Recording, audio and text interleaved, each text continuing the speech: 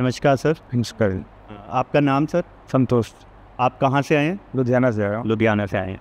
तो आपके बच्चे का क्या नाम है सर? आदर्श। आदर्श। आदर्श कौन सी क्लास में पढ़ता है? नाइन्थ में। नाइन्थ में। तो आपको कैसा फीडबैक देना चाहेंगे? आप बच्चे को माहौल कैसा लगा? बच्चे में आपको कुछ बदलाव दिख रहा है नहीं दिख रहा? स्टार्टिंग के पहले दो मंथ बच्चों के लिए चाहे माहौल थोड़ा सा कंप्लेन वर्क करने वाला है। अभी काफ़ी इम्प्रूव हुआ है। पहले से स्टडी भी आपको थोड़ा ठीक हुआ है। बच्चे का भी फीडबैक अच्छा है।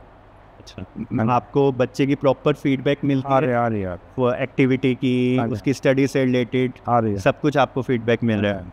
तो आप सेटिस्फाई हैं? हाँ जी हाँ जी। कोई आप फीडबैक वैसे देना चाहते हैं कुछ? ठीक है बाकी सब सब बढ़िया। टीचर्स की तरफ़ से कोऑपरेटिव टीचर ठीक है पहले से टीचर आपके इम्प्रूव हुआ है। Okay thank you thank you